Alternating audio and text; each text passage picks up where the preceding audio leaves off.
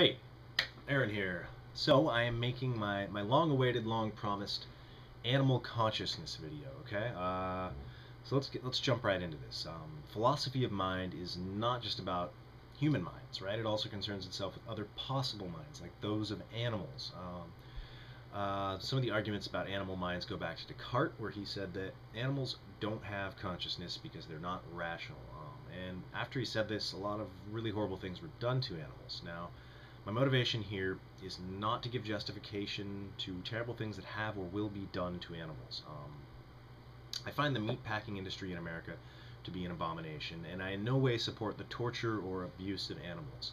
I go out of my way to make sure that I only buy grass-fed organic meats and from happy cows and happy chickens, um, and I publicly oppose the conditions and practices of the American slaughterhouse and commercial farming industry. I have two cats and a dog, and I love them both very much. Love them all very much. So when we talk about consciousness and philosophy of mind, what we mean is phenomenal conscious experience, right? That is to say that there is something it is like to be conscious. When we describe consciousness as having a first-person subjective feel, there's a certain what it's like feeling when we look at a, the color red, or we see a piece of art, or hear a piece of music, or stub our toes. This is what I mean when I say phenomenal conscious experience. Now, in contrast to phenomenal conscious experience, we have non-conscious experience, or a lack of consciousness.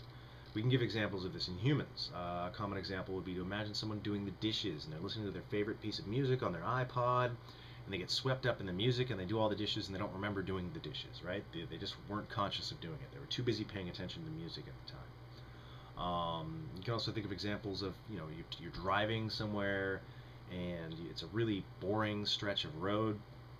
15 miles pass and you don't really remember the past 15 minutes or so of your driving. It's just kind of all a blur. You're just like, oh, all of a sudden, you know, I spaced out and here I am. Uh, better examples come from the scientific literature. There are people who have partial vision blindness. Um, that is to say, they can only see with a part of their vision, right? For the, for the sake of example, we'll say one hemisphere of their vision. So imagine somebody who can only see from here up, right? The top half of their vision, the lower 50% of their field of vision, they, they can't see anything. They're blind there.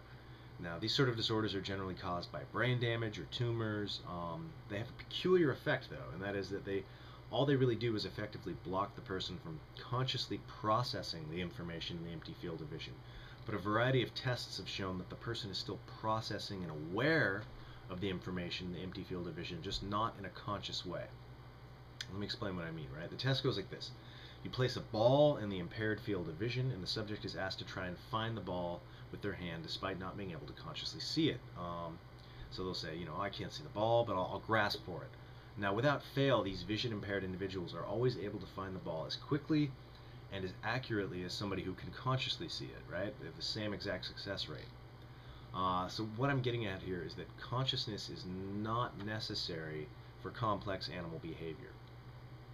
Uh, so the question becomes, do animals have phenomenal consciousness? Uh, historically, like I brought up Descartes, uh, there's been many, many arguments about why they don't have consciousness. Um, some of them rely on animals' lack of language or their inability to understand predicates and subjects. I am not going to address any of these arguments unless you are really, really interested. Some of them are quite technical, all of them are quite boring, and I don't think that any of them are very persuasive. There is, however, one argument that I believe is quite persuasive, um, and this comes from the philosopher Peter Carruthers. Now, the argument will be in the description box. He doesn't actually use this syllogism, but it's a uh, it's a very good uh, condensing of his argument. Um, I, if I can find the particular paper that I pulled this from, I will post that. I don't think I can, but I could probably find some Carruthers stuff for you guys to read about higher order thought theory. Um, so premise one goes like this. In order to have a conscious experience, you need to be able to have conscious thoughts about your experience. Premise 2. In order to have conscious thoughts, you need to be able to have conscious thoughts about your conscious thoughts. By 1 and 2, this is premise 3. In order to have a conscious experience, you must be able to have conscious thoughts about your conscious thoughts. Premise 4. Dogs, pigs, and cows do not have the ability to have conscious thoughts about conscious thoughts. Conclusion, therefore dogs, pigs, and cows do not have conscious experience. Now I think premise 1 is pretty non-controversial, but premise 2 and 4 need some unpacking, so let's go ahead and do that here. Uh, Carruthers is appealing to a theory of consciousness known as hot theory, or higher order thought theory of consciousness. Hot theory can trace its roots back to John Locke, the British empiricist, not the character from Lost. His uh, theory is quite popular, and there are several versions of it made popular by modern philosophers. Daniel Dennett, uh, his philosophy of mind is uh, he doesn't call it hot theory, but it relies on the same sort of ideas. Um, an idea here, the idea here is that consciousness is made up of first order, first and second order thoughts, um, and third order, and so on. A first order thought would be something like a perception. Let's say you see a flower and your brain processes it. The second order thought would be a thought about your perception of the flower and then the third order thought would be a conscious thought about what it's like for you to perceive the flower, creating this phenomenal conscious experience. Think of it this way uh, you see something, and this in itself is a first order non conscious thought, much like the half blind people seeing the ball that I mentioned earlier. Um, then you have a thought about seeing the ball, it registers. Now, the next part is where it gets important and slightly tricky. Now you have a higher order, a third order thought about your thought about seeing the ball. Uh, this is what Carruthers is claiming is necessary for phenomenal conscious experience. Only this last thought creates a what it's like sensation in the whole experience and makes it a conscious experience. The second order thought has the potential to be conscious, but it's only conscious if it's uh, it's only available, or I'm sorry, it has the potential to be available to conscious thought, but it's only a conscious thought if it's being consciously thought about. Uh, so there's nothing like there's nothing that it's like to see the ball until you have a conscious thought about the conscious thought. Uh, let me say this again.